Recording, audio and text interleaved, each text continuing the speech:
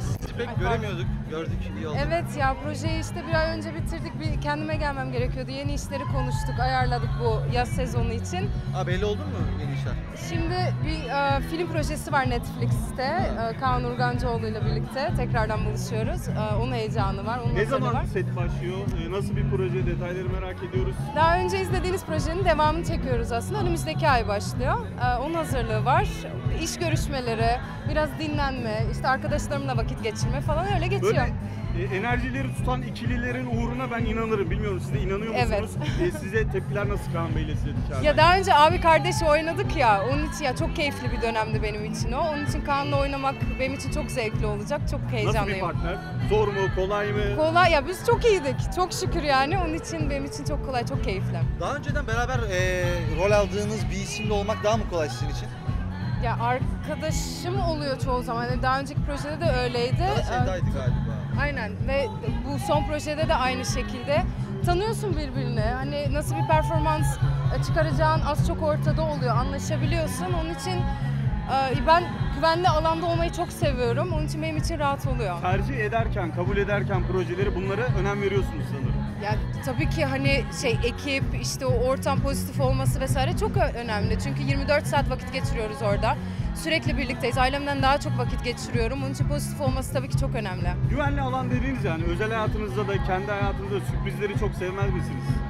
Ya ben güven insanıyım ya. Evet. Bileceğim diyorsunuz. ona Evet göre yani bir, bir atacağım. güven güvenli hissetmem gerek. Çünkü zaten ya dünyamız çok karışık değil mi? Ya bana mı öyle geliyor bilmiyorum. Onun için o güvenli alanı yaratmak bence çok önemli. Dostluklarda da, aile içinde de, yaptığın işte de bence çok önemli bir şey. Çok daha huzur veren, daha kafanın stabil olduğu bir yer olduğu için çok daha güzel bence. Güneşli bir İstanbul günündeyiz. Burada Evet. yaz konseptiyle bir partideyiz. Evet.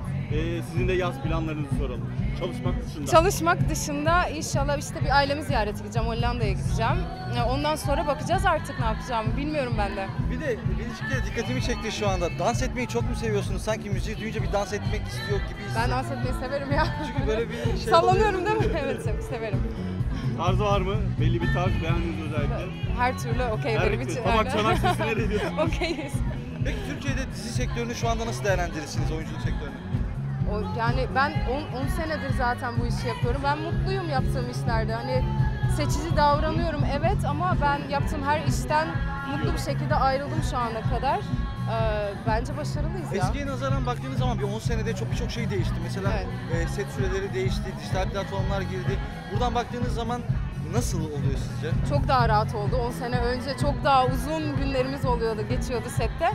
Şu an çok daha rahat çalışıyoruz. Ee, iletişim belki ben de büyüdüğüm için ya da işte daha çok tanıdığım için iletişim daha sağlam bir şekilde ilerliyor. Ee, ben yani güzel ilerliyor bence. Yani dijital projelerimiz çoğaldı. Dünyaya açıldığımız bir sürü proje var güzel güzel. Peki, Peki bunlarla birlikte oyuncu olmak, ünlü olmak kolaylaştı mı, daha mı zorlaştı sizin için?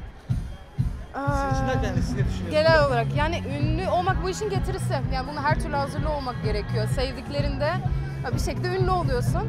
Buna hazırlıklı olmak gerekiyor ve kaldırabilmek gerekiyor bence. Bazılarımız kaldırıyor, bazılarımız kaldıramıyor. Oyuncu olmaktan ilerleyelim o zaman. Oyuncu olmak kolaylaştı mı, zorlaştı mı? Ya oyunculuk alan da açıldı ne kadar daha alan açıldı ama oyunculuk bence o kadar basit bir iş değil. Yani bunun ger- için gerçekten yani her proje öncesi ben öyle yapıyorum bilmiyorum. Ee, işimi çok seviyorum çünkü. Bir eğitim, bir ön hazırlığı olur, karaktere adaptasyon süreci oluyor. Ee, yani çok kolay bir iş değil. Her iş zordur. Herkesin işi. Sizin de işiniz ünlü çok zor. olmanın en zor kısmı, sizi zorlayan kısmı nedir diye sorsam. İnanılmaz rahat hareket edemiyorsun yani. Hani ben sokakta bir yerde köşede otursam, e, yakalansam bir şekilde işte bir şey mi oldu vesaire ama belki sadece oturmak istiyorum. Yani Mesela onları yakın düşünerek dönemde hiç böyle bir şey yaşadınız mı? İşte e, çıkıp bir yerde oturmak, hüzünlenmek, keyiflenmek, herhangi bir şey yaşamayı Yok ama beni yakalayamıyorsunuz siz. Onun için yok öyle bir şey yaşamadım. Aynen. Peki son olarak e, aşk hayatını soralım Altay Bey ile Altay beraber. Ben aşk hayatımı konuşmuyorum. Hiçbir zaman Doğru mu konuşmadım. değil mi en azından beraber misiniz? Onu Ben merak yapacağım ediyorum. açıklamayı daha za- zaten daha önce yaptım ama aşk hayatı falan konuşmuyorum hiçbir zaman. Projelerimi konuşmayı tercih ediyorum. Bayağı konuştuk ama projeleri ya. Evet onun için teşekkür ederim. Birliktelik devam ediyor dendi böyle haberler. Ben açıklamamı yaptım. Ben Çok teşekkür ederim. gördünüz? Teşekkürler çok Vallahi sağ olun. görmedim açıklamayı o yüzden. Ne yazdı beyefendi? Siz dediniz onlara. Üç aydır da siz dediniz.